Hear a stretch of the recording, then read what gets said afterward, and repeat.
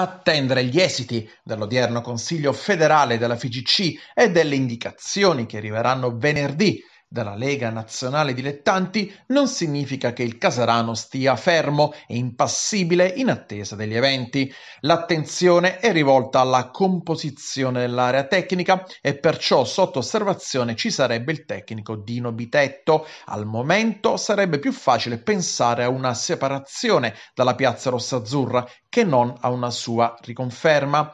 L'idea per la panchina sarebbe Nicola Ragno, già tecnico di Bisceglie e Potenza, con cui ha vinto due campionati, e Taranto, l'ultima squadra allenata. Se si decidesse di passare dal pensiero all'azione, si tornerebbe a ripercorrere il sentiero già tracciato un anno fa, quando le parti furono vicine alla conclusione.